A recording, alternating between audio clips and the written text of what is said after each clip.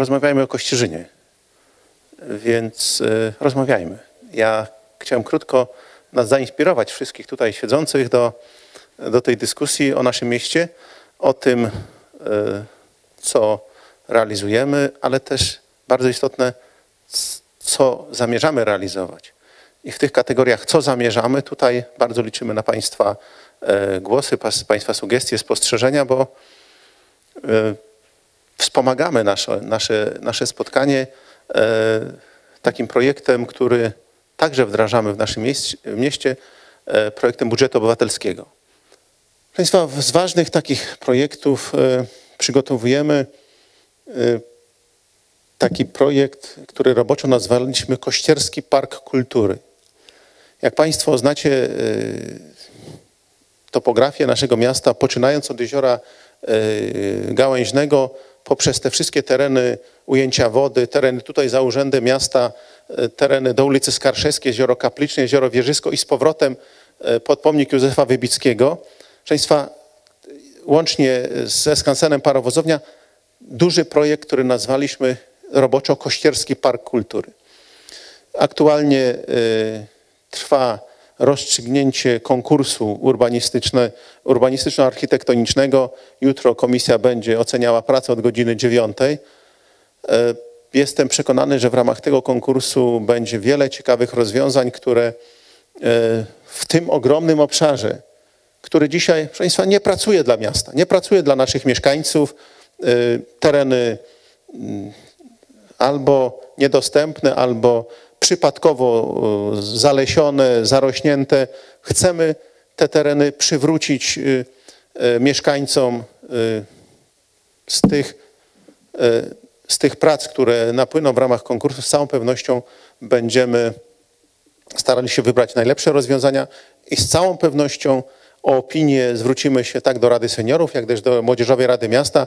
Stworzymy też tutaj w holu w sali y, wystawę z tych prac, tak abyśmy projektując zagospodarowanie tych wyjątkowych, unikalnych terenów, y, podjęli jak najcenniejsze decyzje, jak te tereny powinny być zagospodarowane i pracować na y, pomyślność i ku zdrowiu naszych mieszkańców.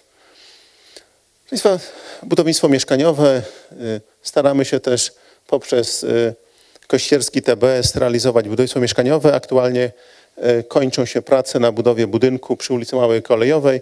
Docelowo w tym miejscu, jeżeli tylko będziemy mieli środki i zainteresowane e, osoby, chcielibyśmy tam doprowadzić do budowy e, czterech budynków, bo na tyle mamy tam możliwości terenowe, elegancki nowy budynek na ukończeniu, jeżeli chodzi o roboty budowlane. Proszę Państwa, ważna sprawa E, pomoc dla szpitala. E, w większości pewnie z nas e, znana. W okresie letnim doszło do przekształcenia i do redukcji mniej więcej połowy zadłużenia szpitala.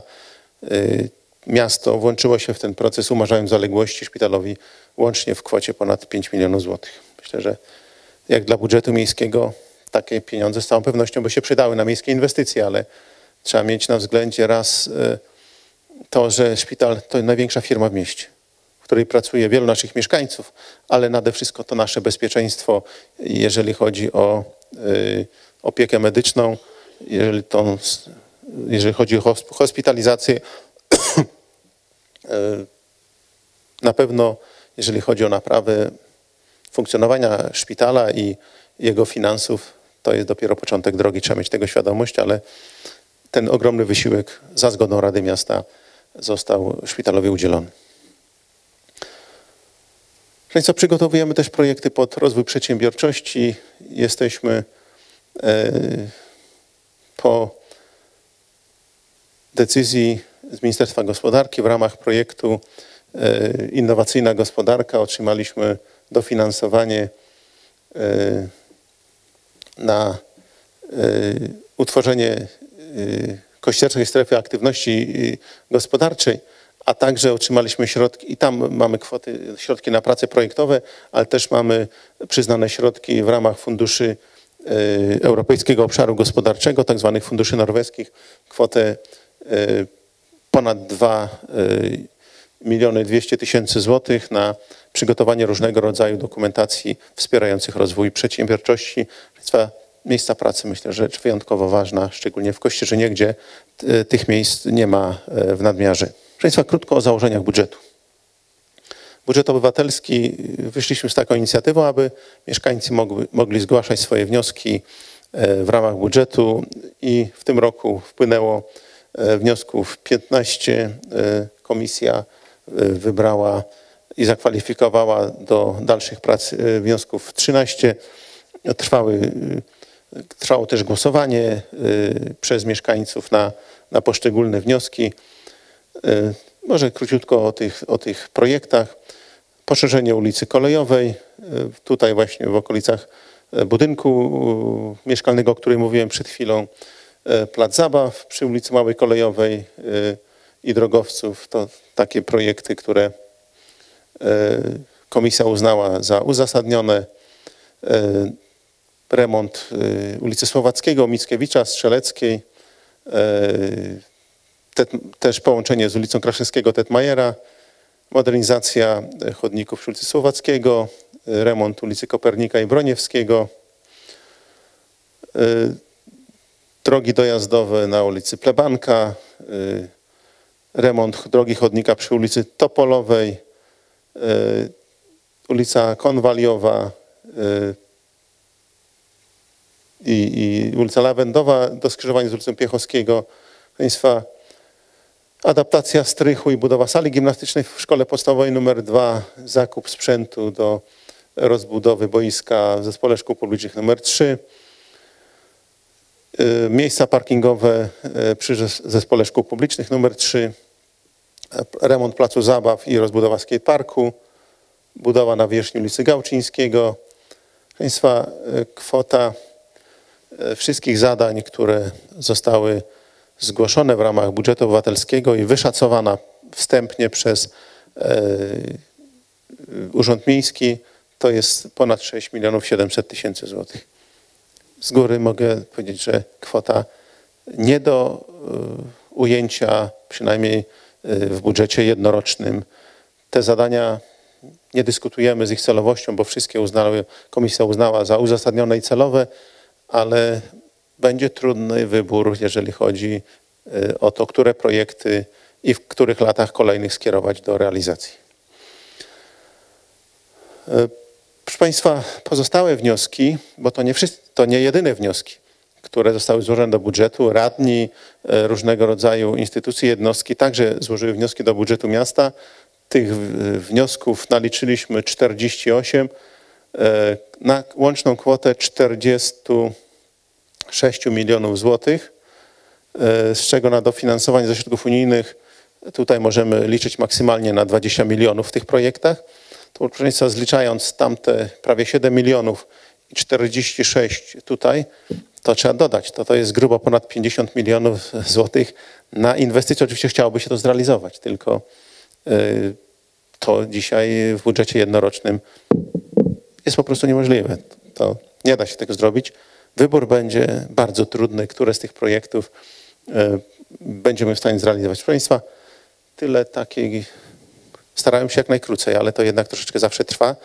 Proszę Państwa, jesteśmy otwarci na dyskusję, na Państwa pytania, na uwagi, spostrzeżenia, bo część projektów nam wydaje się projektami oczywistymi, ale, ale z całą pewnością to, co dla kogoś jest oczywiste, wcale dla innej osoby, dla innej grupy może tak oczywistym nie być i jesteśmy bardzo ciekawi Państwa spostrzeżeń, uwag. Dobry wieczór, Zwara Radosław, naczelnik Ochotniczej Straży Pożarnej w Wielkim Klinczu. O wszystkim tu rozmawialiśmy, ale nie poruszyliśmy pewnego tematu bezpieczeństwa ochrony przeciwpożarowej na terenie miasta. Co miasto robi dla tych celów? Jednocześnie jak chce wesprzeć jednostki ochrony przeciwpożarowej z terenu gminy Kościerzyna w ramach działania na terenie miasta, bo wiemy dobrze, że tutaj na terenie naszego miasta nie działa OSP aktywnie i jednocześnie po prostu mamy tutaj Państwową Straż Pożarną, która działa na terenie całego powiatu i wiadomo, że tutaj ilość zdarzeń też rośnie z roku na rok, więc prosiłbym tutaj wskazanie ewentualnie jakiegoś planu na przyszłe lata w tym celu. Okej. Okay. Korzystając, Szanowni Państwo, z okazji, że nikt, nikt się nie zgłosił, to ja chciałem podziękować wszystkim zaangażowanym w głosowanie nad e, naszym projektem dotyczącym ulicy Gałczyńskiego, a zwłaszcza, bo Pan Burmistrz powiedział o nawierzchni, ale tutaj w głównej mierze chodziło nam o zbiornik retencyjny, który jest dla nas bardzo ważny. E, Chciałem podziękować za zaangażowanie wszystkim głosującym i e, podkreślić naszą determinację, jeżeli chodzi o liza- realizację tego tematu. Bardzo dziękuję. Panu, który pytał o ochronę przeciwpożarową. Państwa, oczywiście my nasze y, poczynania, jeżeli chodzi o ochronę przeciwpożarową, y, konsultujemy z komendantem y, Państwowej Straży Pożarnej. Tak, my nie wykładamy znaczących kwot na ochronę przeciwpożarową. Oczywiście OSP funkcjonuje, ale to jest tak naprawdę jedyna forma, gdzie możemy przekazać środki finansowe i oczywiście w ramach y, tego planu, który realizujemy, drobne kwoty przekazujemy w uzgodnieniu z komendantem.